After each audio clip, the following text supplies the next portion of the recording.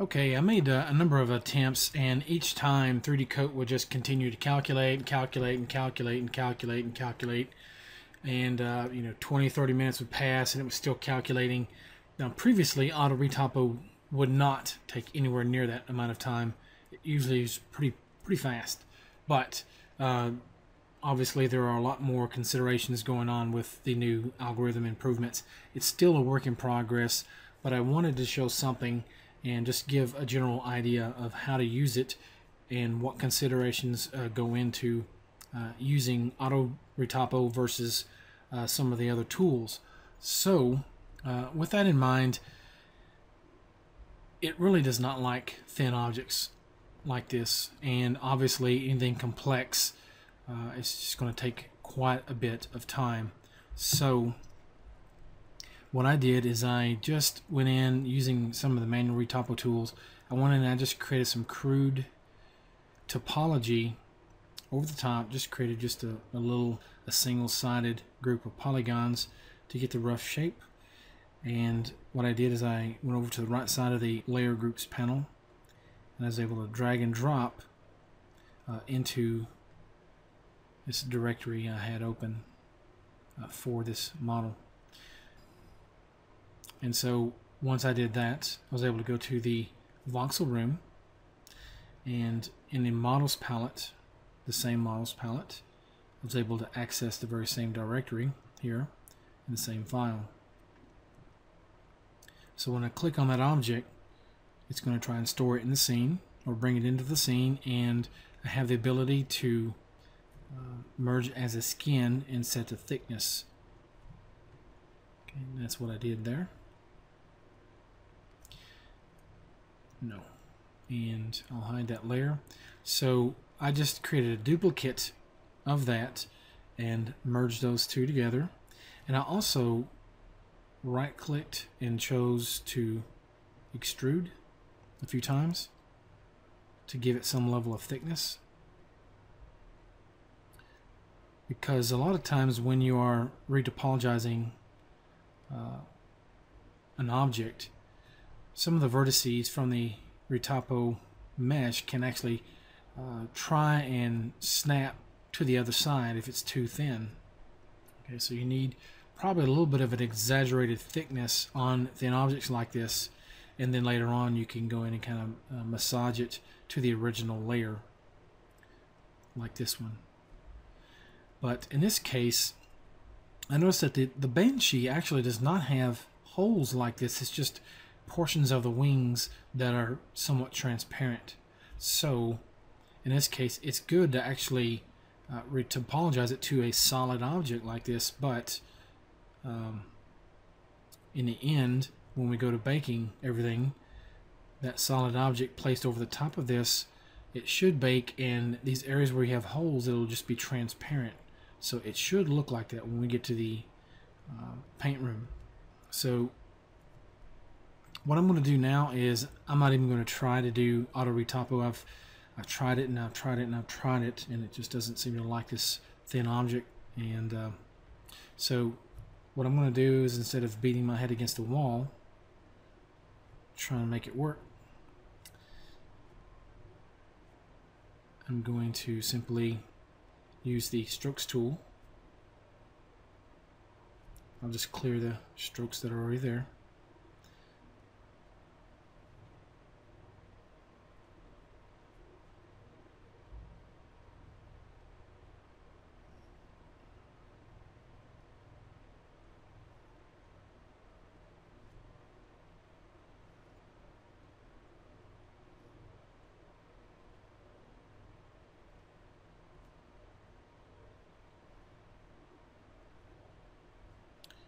go ahead and make sure I get enough to hold the contours here.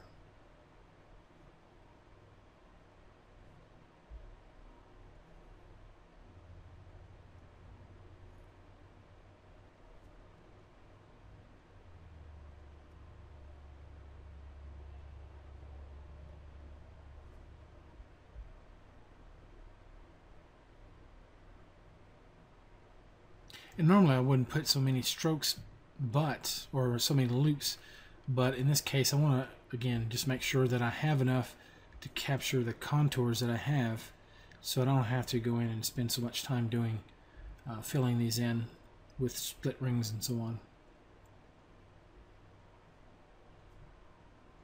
So I'm going to hold the control key and just start clicking points. Oops. The control key.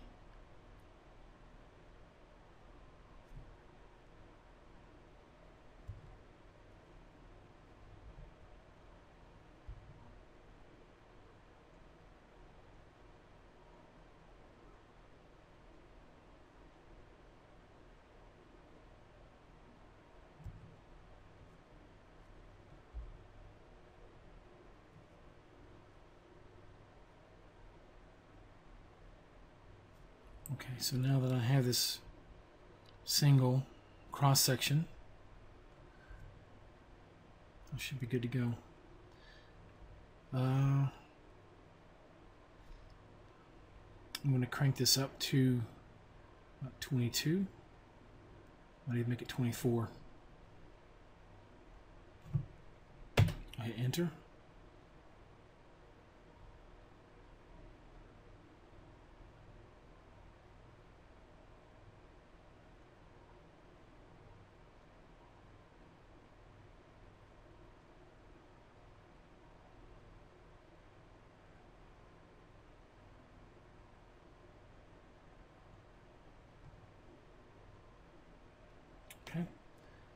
And as you can see, I just you know put those loops down and it create you know creates an entire section of geometry for me. So it, it really is an auto retopo tool, as I've mentioned, uh, in its own right. So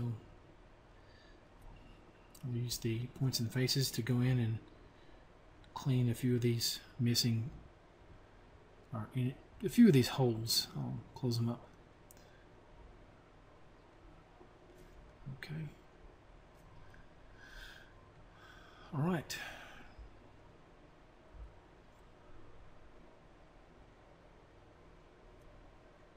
So I can use split rings right here on the ends to make sure I have enough geometry to maintain those shapes. Do the same thing right here.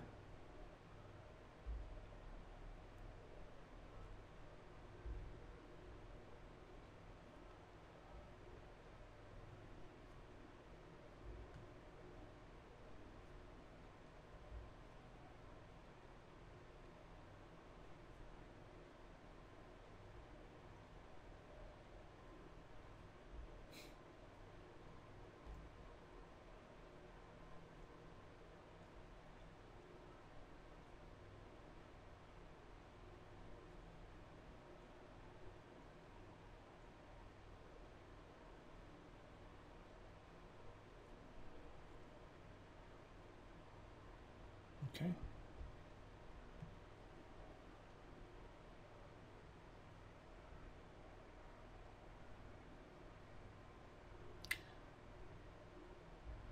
I'm going to add plenty right here because after I use the cap tool I can then choose slide edges and slide that toward the end.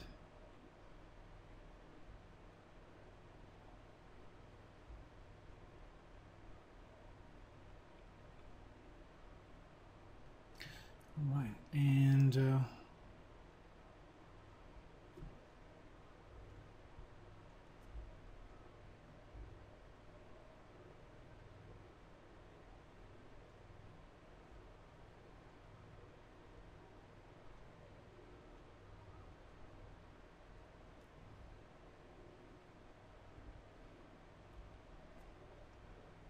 same here. All of these, I can slide them toward the end.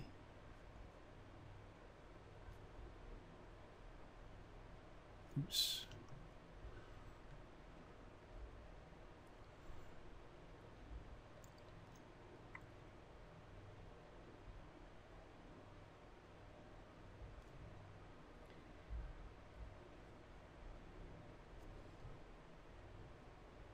So let's actually select that vertex right there. Oops.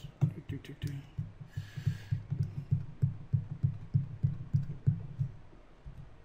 Escape.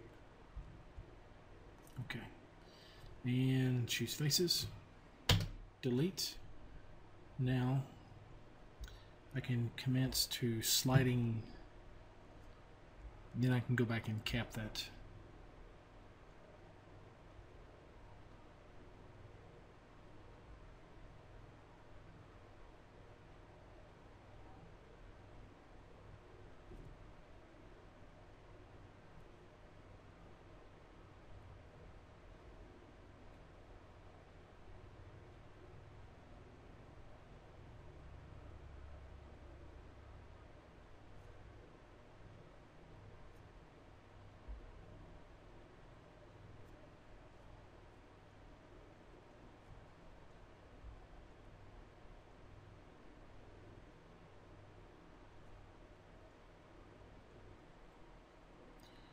and take this one and extrude it back inward instead of outward. So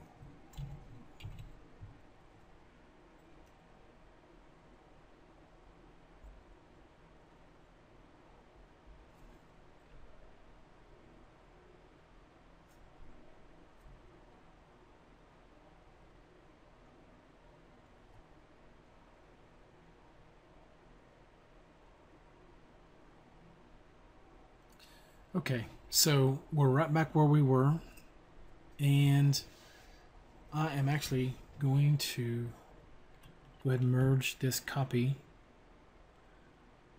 with this body layer.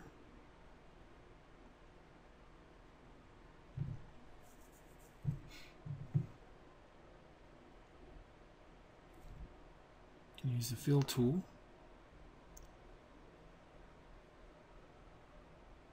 Kind of fill those little gaps in.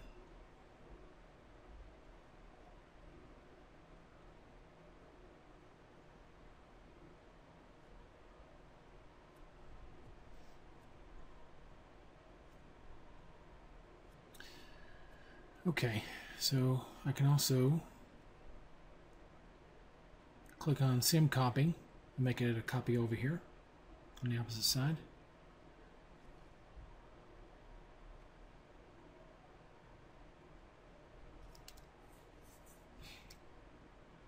Save a copy here.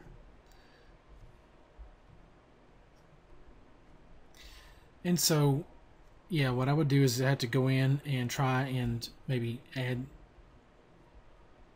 some rings here, or I could delete some of these on this layer, this body layer.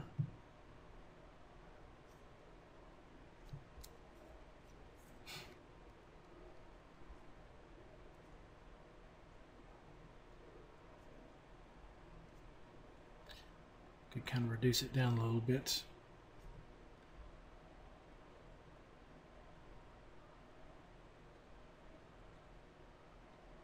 Just try and delete every other one.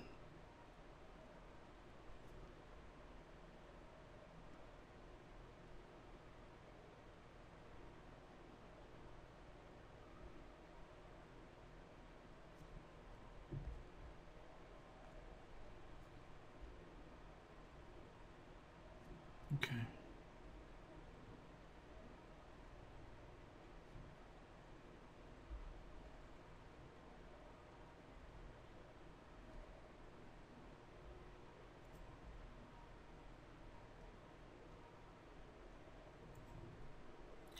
So I'll go ahead and select the faces on this one.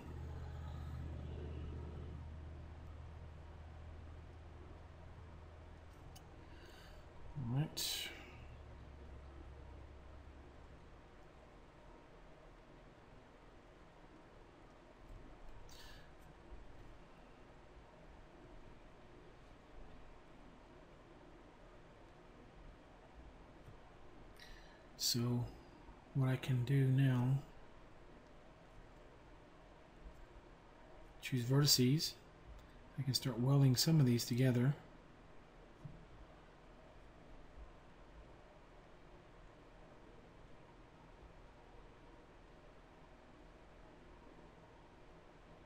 So I can see I probably will have split splittering right there.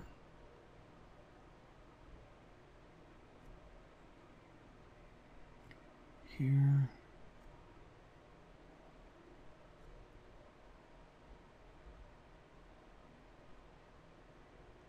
Okay.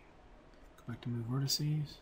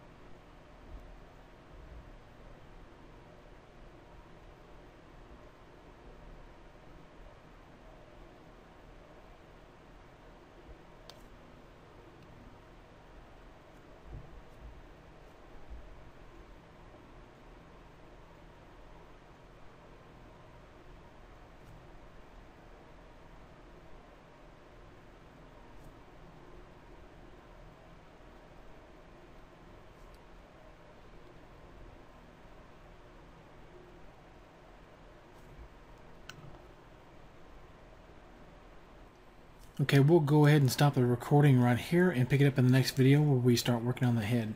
Thank you for watching.